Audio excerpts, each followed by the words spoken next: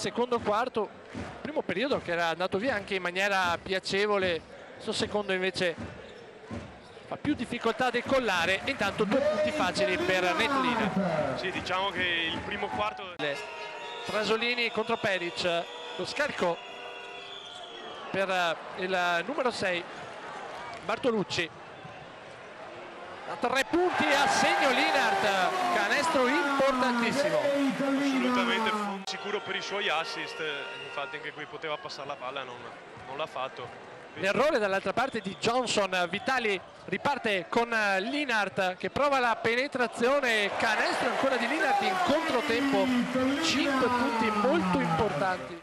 Terzo e quarto periodo, di nuovo in campo con il numero 6 Andrea Bartolucci.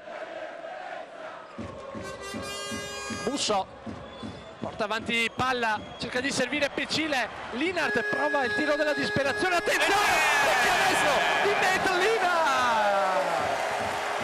64 a 46 si accende improvvisamente il tagliercio, il tagliercio in questo finale. Qui è successo un po' di tutto. Intanto rivediamo con precisione chirurgica Nate Linard al segno canestro che può cambiare emotivamente anche la della Reyer nei quarti di Coppa Italia ovvero la squadra che finirà al primo posto Isla intanto in campo e la schiacciata di Nate Linard che vuole marchiare a fuoco la sua partita. Il momento in cui bisogna forzare è il momento in cui bisogna giocare con la squadra.